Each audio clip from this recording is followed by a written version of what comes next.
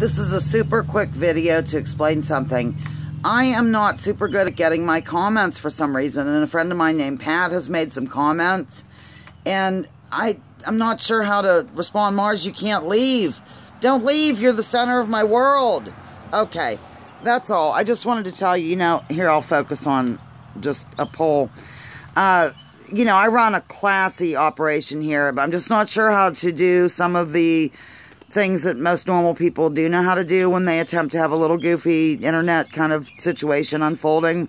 So, Pat, Pat, you know who you are.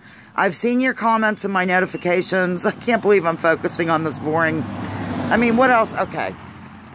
There, Route 6, ladies and gentlemen. You can watch the traffic go by. Uh, yeah, so I apologize for that. I'll try to get my life together and figure out what I'm doing. Not ignoring you. I'm delighted that anybody takes a look at this insanity. Really, honestly, I am. Signing off, front porch, lounging with Lisa, Wednesday in May. Live for you, love you, cannot get enough of you.